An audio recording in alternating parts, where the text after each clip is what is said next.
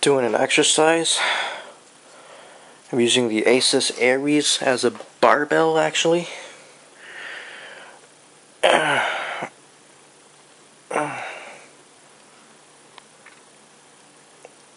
Oh my god.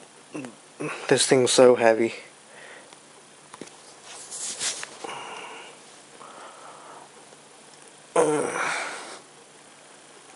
Uh.